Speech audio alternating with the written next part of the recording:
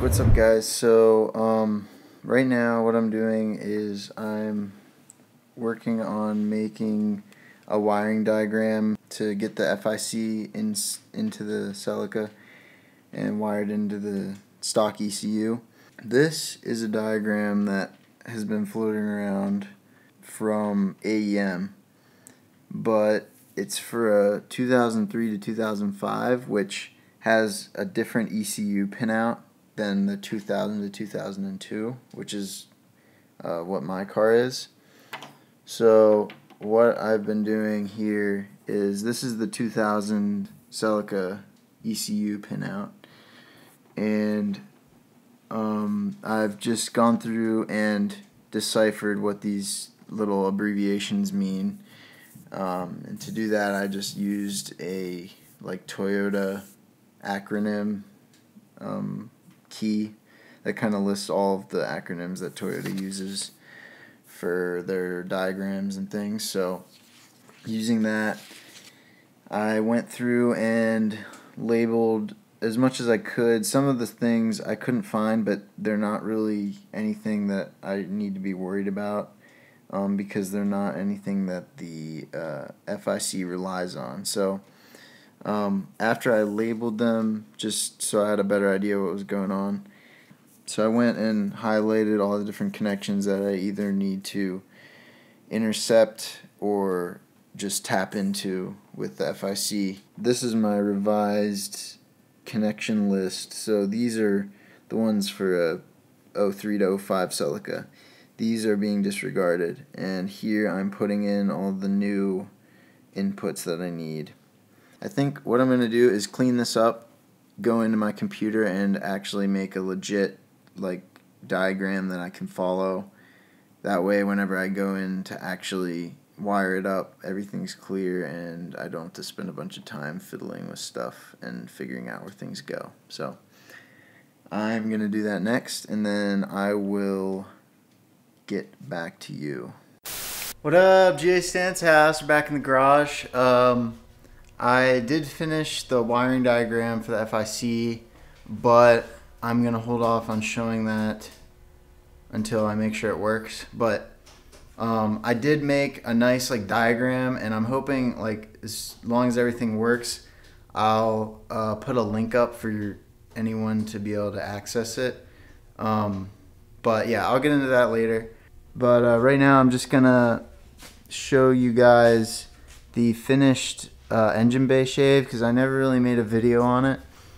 Um, so I need to repolish my uh, valve cover and intake manifold and intake pipe. But um, yeah, this is the final product or final for now.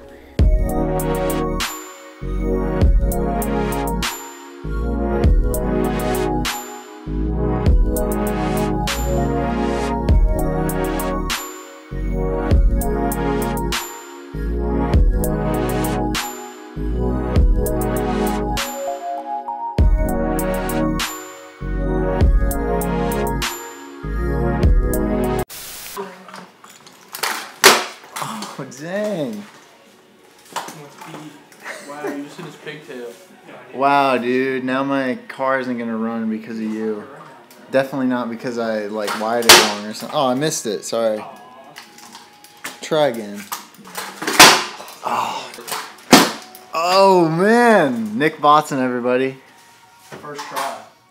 All right, so pretty much what I'm getting ready to do here is I'm gonna actually extend this so I have plenty to reroute it to where the ECU is because I'm not planning on uh, extending all the wires of the ECU because that would just be a pain to do because there's a lot more than what's involved with this because there's only like 14 wires involved.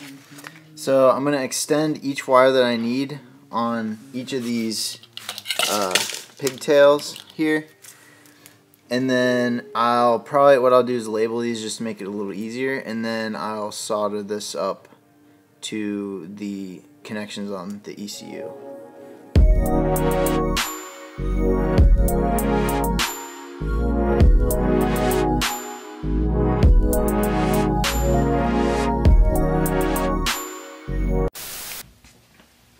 What up? Did you guys already do it? Mm-hmm.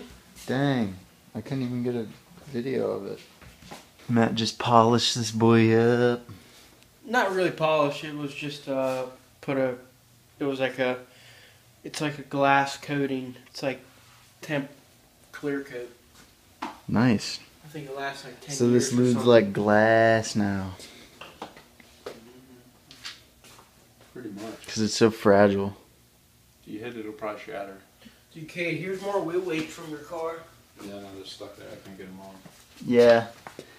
Cade's uh, wheels are unbalanced. How do you feel about that?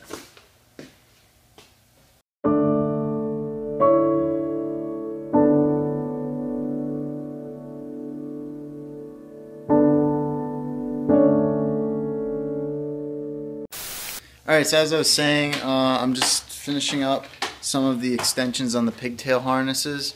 Um, I finished up one yesterday. It's kind of a mess, but once I straighten things up, it'll be pretty simple to follow. Um, but on this harness, I think there might have only been like seven or seven to ten wires that I like needed to extend that I'm actually using. Um, so now I did that one. I think that that was the 24 pin connector off of the FIC, and then this one's a 22 pin. So this is the one that I'm gonna work on next, and then from there we will wire it into the car. What you doing? that? I was No. ripping, dude. Oh no! Oh my!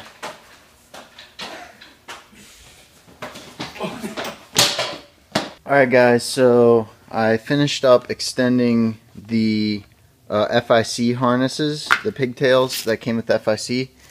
So uh, I have all these extended, and then any of the wires that I am not using, I just taped them off. And all the ones I extended, I labeled. So just to make my life a little easier whenever I go in to wire it inside. And this is going to be a little tricky because of the way I have my harness routed from the wire tuck. But I'm going to have to kind of cut and solder like back here. So that's kind of a bummer. Um, two of the plugs are short. Like, so this is all the further they're inside the firewall. The other two, uh, they kind of are a little longer, so I can unplug them and like work uh, work with them out here. So that'll be a little nicer. But um, yeah, it's gonna be a little bit of a pain, just like soldering and stuff in this cramped little space. But it should be nice. And I made the wires long enough so that it can kind of route in and along, and then I can put the FIC uh, down here in the glove box. So it's nice and tucked away and neat. And once the dash and everything's back on, you won't even be able to see it. And it'll still give me really easy access to it so I can plug it into my laptop to tune and log with it. So, yep, I'm gonna get to it and continue soldering. Alright guys, little update. Uh, it's been a little bit since I last recorded, but this will all just be one video. Pretty much what I'm doing right now is more wiring and I'm wiring in my gauges. So this is my AEM wideband and the purpose of this is so that I can monitor my air to fuel ratio when I'm tuning. So this is just a simple um, power ground and then a signal that's going to go into the FIC that I can use for logging and stuff. And I don't know if I actually showed this yet, but the FIC I have mounted right here for now. Um, I'm not sure if I'm going to change that yet or not, but that kind of depends on if the boost line can make it to here from the engine bay without getting kinked or like squished or anything. So that's air to fuel gauge and then I took a time lapse of me painting this up to match the rest of the interior that I painted a long time ago.